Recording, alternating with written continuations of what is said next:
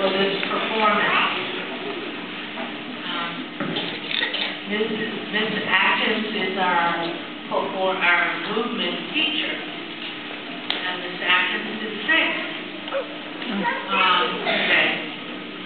She has uh, kind of abandoned Dr. to wrap, and has been emailing in and talking with our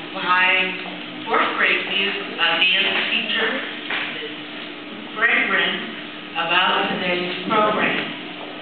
She knows that these boys and girls are ready, you're ready, and that you will do a fine, fine job. Um, so, remember, this is not just a performance, this is more, we like to call them informances.